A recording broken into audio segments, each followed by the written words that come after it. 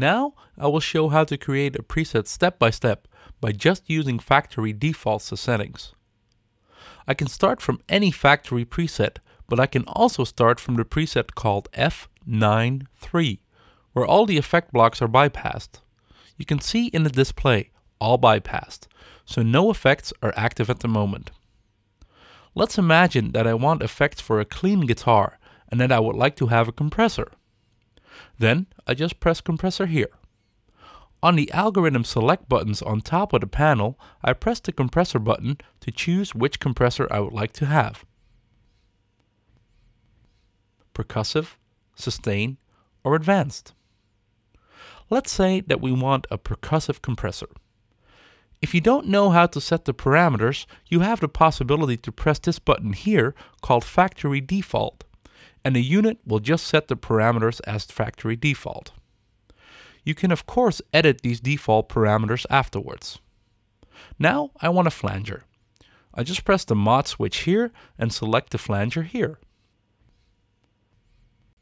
Again, I don't know how to set the parameters, so I just choose the factory default.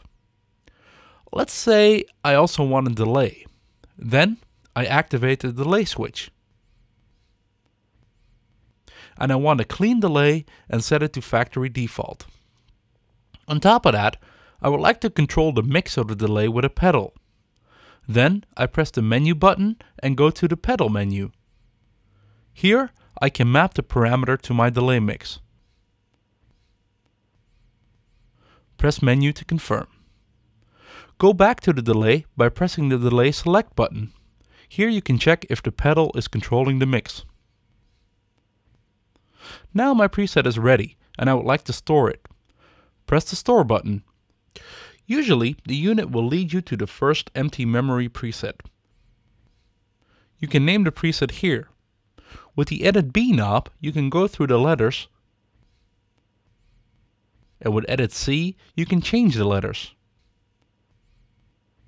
I won't name it now, but you can choose the name of your choice. When you've finished, you press store again. Now, my preset 9.1 has mod, delay, and compression, and you can even see that the pedal is controlling something. It doesn't say what it is, but at least you know that the expression pedal is controlling a parameter.